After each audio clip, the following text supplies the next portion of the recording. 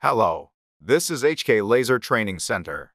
In this time, we will learn how to clean and replace protective window.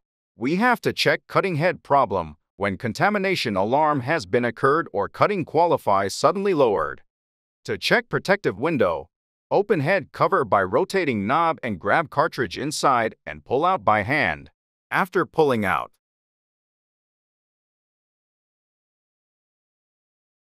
Pull out the window cartridge and seal the open part by tape.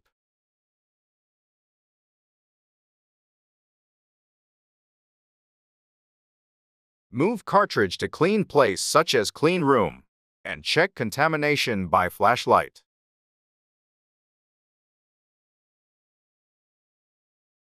If contamination found, dip acetone to Q-tip and shake off and start cleaning as shown in video.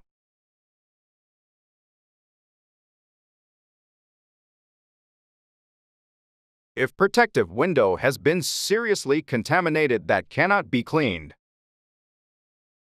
Then disassemble and clean cartridge and replace protective window. Especially check yellow Omni seal damage.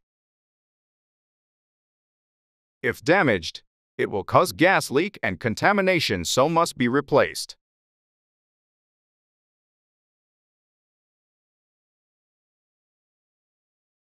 Be cautious, do not reuse cleaning components and do not grasp head when taking out Q-tip.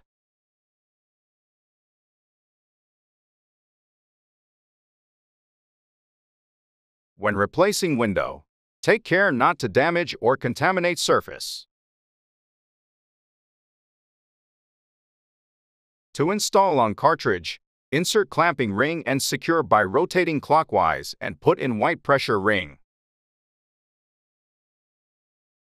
You have to also check contamination of new window before install and clean if needed.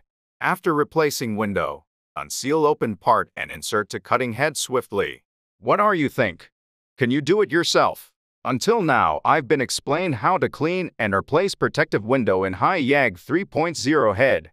From now on, we will keep producing videos for maintaining our machine well. Thank you.